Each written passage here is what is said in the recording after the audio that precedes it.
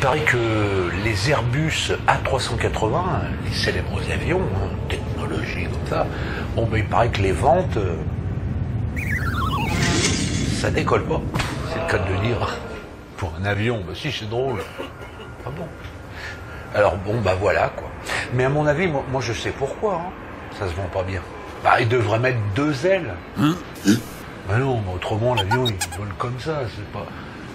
Ils sont cons, les, ingénieurs, les mecs, pff, sont payés des millions, et c'est nous qu'on paye.